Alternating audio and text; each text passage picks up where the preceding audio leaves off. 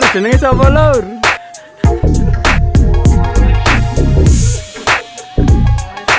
Aku lihat nama ngono kuwi sing meneng jane bobo ya, lucu lucu.